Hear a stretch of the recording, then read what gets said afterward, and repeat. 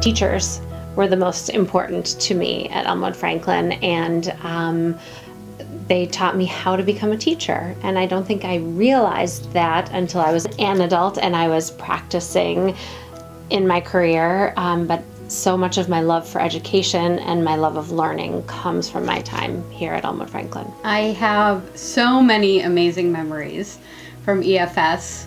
Our headmaster at the time, John White, coming to prep to read to us and actually, he would not read from a book. These would be memorized stories that he would tell with such amazing drama that we were all transfixed. you know, I will always remember the Big Brother Big Sister program, finding out, you know, who we would be for Blue Gray, Medieval Night, learning how to juggle throughout that process. um, but really, just so many memories. My children love school. They love to come to school. They love to be with their friends. They love to be with their teachers.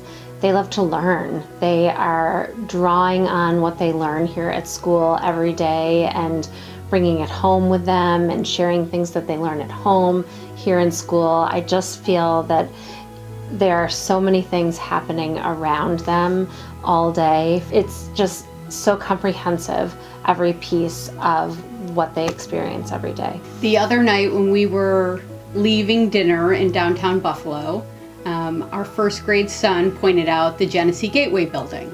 And hearing that name, um, our fourth grade daughter relayed some facts about the Genesee River and how it brought power to Rochester and Western New York.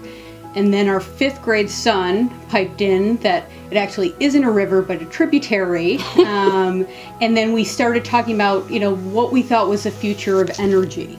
So, you know, I walked away from that conversation, A, learning something, but B, really getting a sense that my children are learning so much, being able to apply that knowledge in a variety of different ways, and then using that knowledge to be able to critically think about, you know, the issues of our world.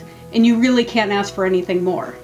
Please join us in giving a gift to the annual fund today. Every gift matters. Thank you so much for your support.